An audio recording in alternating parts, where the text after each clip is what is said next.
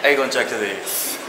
皆さん遅くなりましたが明けましておめでとうございます。なかなかこう自分で動画をね最近撮ってなかったからあの今日はねまず1本目ってことで、まあ、トレーニング動画がね今後結構多くなると思いますきっと。で今日はね肩トレなんだけど個人的にね結構肩トレって満足いくまでやるとねボリュームがすごいから今はねレイズとプレスであの分けちゃってる感じ。で今日はレイズ系の種目をまあ結構がっつりやっていこうかなっていう感じになっております。何種目ぐらいやるんですか？まあ大まかにフロントとサイドとリアはいはいはい。になってるから、はい。まあ、そこをまあ2種目3種目ずつぐらい、まあ、重いのも扱ったりとか、はい。ハイレップ入れたりとか、まあ、そんな感じで、まあ、結構満足いく感じにしていこうかなとじゃあ全体で67種目ぐらいやるような。まあそうね。67まあもうちょい多いかなっていう感じかな。まあとりあえずやっていきましょう秋田さんこれ30キロですか？まあサイドレイズはね結構高重量で攻めた方が効いたりするからはい。サイドはまず1種目目は結構割とね重めで10レップぐらいできるぐらい。パワーグリップ巻いて。パワーグリップ巻かないとねやっぱあの握力疲れるからね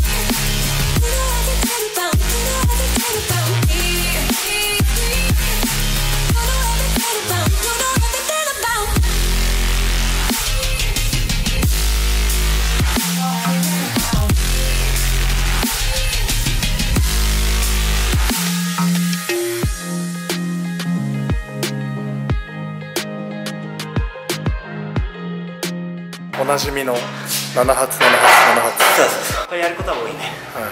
これ結構好きではい。やってるんだけどこれ結構効くよ。これも重さ30キロで30だね。これはやっぱ重め。割とこれは重めでやった方がいいかもね